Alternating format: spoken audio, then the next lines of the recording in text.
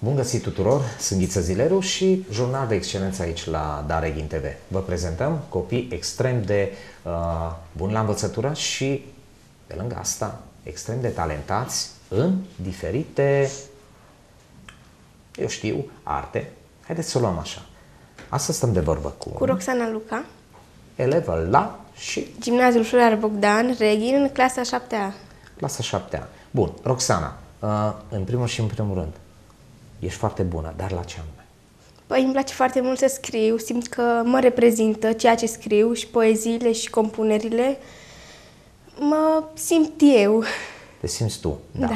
Bun, deci asta e prima. Apoi, teatru, ceva? Teatru, îmi place să joc teatru, depinde în ce roluri. Nu mă văd în roluri negative pentru că uneori nu pot să fiu. A, deci nu poți să fii rea. Da. Hai să spunem, da? Nu poți fi rea. Bun, e ok. Și apoi mai ai și alte plăceri, da? Păi îmi place româna, îmi place fizica, am descoperit lumea frumoasă a fizic- fizicii, cum se spune. În rest îmi place sportul, îmi place handbalul să joc.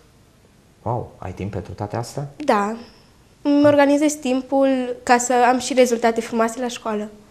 Bun, și pe lângă rezultatele frumoase la școală, am înțeles că în foarte scurtă vreme va apare ceva. Despre ce e vorba? Haide, trebuie să aflăm. și reghinenii, să afle cu cine stăm Este de vorba. vorba despre o carte care se numește Cale greșită, unde este vorba despre o fată care s-a pierdut și atunci când s-a pierdut ea, a început să înțeleagă cu adevărat lumea și minunățile lumii. Bun, și în ce stadiu ești tu cu această carte? Păi, încă nu știu prea bine. Da, da, da. Bun, ok. Deci e undeva spre apariție, da? Se poate zice așa. Se poate zice așa. Deci, în curând, uh, probabil la știri veți uh, putea să o urmăriți pe Roxana în momentul în care își lansează cartea. Succes! Bun. Mulțumesc. Ok. Acum, vreau să te întreb, în momentul în care te-ai gândit să scrii, tu așa, uh, deci, nu știu, cum poate, cum poate să-ți vină așa ceva, nu știu, inspirația, de unde? Păi, în Ai primul, o muză? Mă scuzi, ai o muză, ceva Uh, așa? nu. Nu? În primul rând m-am gândit la viața mea, pentru că, ca orice copil, Da. pot să zic, sunt foarte multe în viață care se întâmplă și moartea tatălui meu m-a, nu știu, să, să scriu. Ah. Mă simțeam bine, scriind și așa mai trecea dorul. Deci, practic, o paralelă între viața ta și ceea da, ce scrii. poeziile da? mă reprezintă. Da? Bun. Uh, nu știu, poate îți cer prea mult, dacă se poate, se poate. Două, trei versuri poți să-mi spui sau ceva? Uh, Prima mea poezie, pot să zic, a fost în clasa patra, când uh, a venit o învățătoare a noi în clasă să ne ceară niște poezii pentru revista școlii și era sfârșit de primăvară Da? și primele versuri sunt așa. Primăvară, primăvară, bine ai venit în țară, floricelele înfloresc și pe noi ne înveselesc. Cucul zboară sus pe creangă, pe copacul înverzit, primăvară, primăvară, bine ai venit în țară. Prima mea Bun. poezie. Prima ta poezie, foarte frumos, în clasa a, A patra. A patra. Bun. Între timp ea a mai evoluat, cum vă dați seama, da? Și a ajuns acum să scrie și o parte. O, o carte cu întâmplări foarte uh, importante din viața ei, așa să zicem, da? Paralelă. Ne-am povestit.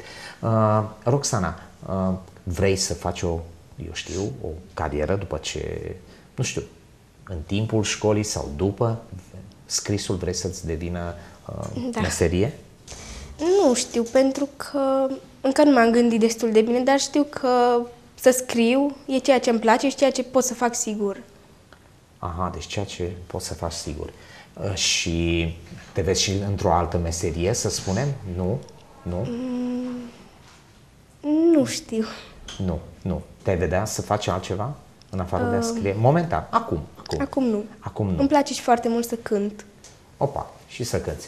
și acum să te întreb și pe tine, uh, dacă îmi spui de, de muzică, m, îți place ceva anume deosebit? La muzică? Da. Îmi place muzica și muzica populară, îmi place și muzica ușoară Foarte frumos, da? și Și cam atât. Deci ajunge. Deci ușoară, populară, e, e de ajuns. Bun. Așadar, un uh, scriitor nu numai în devenire, ci în scurtă vreme uh, un scriitor despre care uh, vom afla cu toții uh, mult mai multe. De ce? Pentru că s-ar părea drumul ei e spre a scrie ceva.